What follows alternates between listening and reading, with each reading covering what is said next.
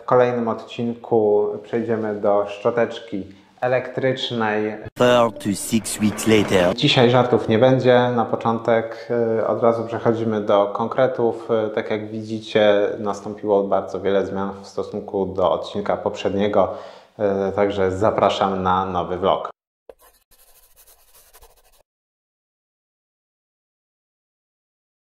Cześć, dzień dobry, witam Was bardzo serdecznie w kolejnym vlogu z tematyki stomatologicznej, z tematyki poświęconej profilaktyce. Ten film nie jest sponsorowany przez żadną firmę stomatologiczną, natomiast jeżeli jakakolwiek firma stomatologiczna chciałaby podjąć ze mną współpracę, to musiałaby mi zaproponować bardzo grube pieniądze.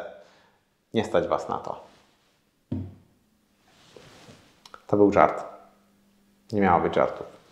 To jest szczoteczka y, elektryczna, którą posiadam, którą stosuję zamiennie ze szczoteczkami manualnymi y, w codziennej higienie jamy ustnej. Jeżeli oglądaliście poprzedni materiał, to wiecie już wszystko o technikach szczotkowania szczoteczkami manualnymi. Kiedy pytam y, swoich pacjentów o to, jak szczotkują swoje zęby jakie szczoteczki używają, odpowiadają, że szczoteczki elektrycznej. I kiedy widzę, że pomimo stosowania szczoteczki elektrycznej te zęby nie są doczyszczone, zagłębiam się w temat i pytam, jakiej techniki używają.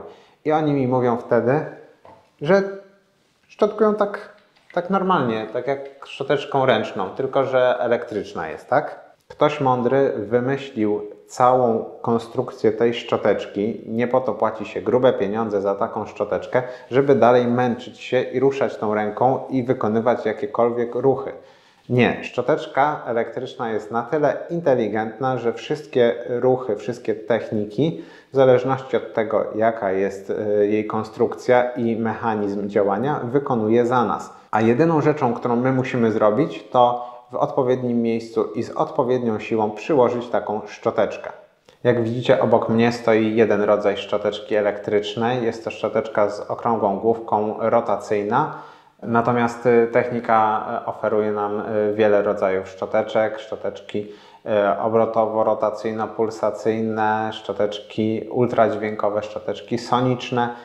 Najpopularniejsze są chyba takie jak ta, czyli rotacyjno-pulsacyjna oraz szczoteczka soniczna. Mechanizm działania zna producent, nie będziemy się w to zagłębiać. One wykonują różnego rodzaju ruchy, które służą do efektywnego oczyszczania powierzchni naszych zębów. Rynek szczoteczek elektrycznych jest tak rozbudowany, że w producentach możemy przebierać.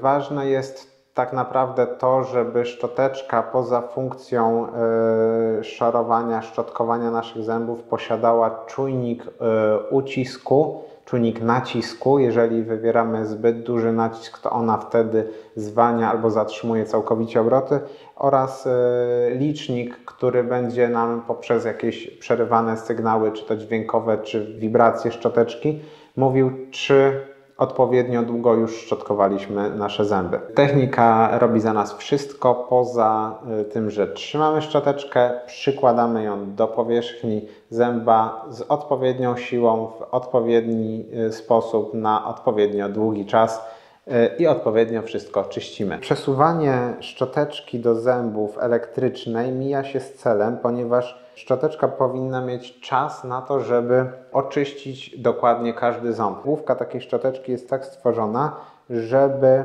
obejmować powierzchnię jednego zęba. I w momencie, kiedy uruchamiamy taką szczoteczkę, dociskamy ją do powierzchni jednego zęba, przytrzymujemy przez około 2-3 sekundy, a następnie przechodzimy. I tak liczymy 121, 122, 123, 121, 122, 123 i tak dalej. Przykładamy do każdego zęba, do każdej powierzchni od strony wewnętrznej. Również tak samo przykładamy i doczyszczamy każdy ząb oddzielnie.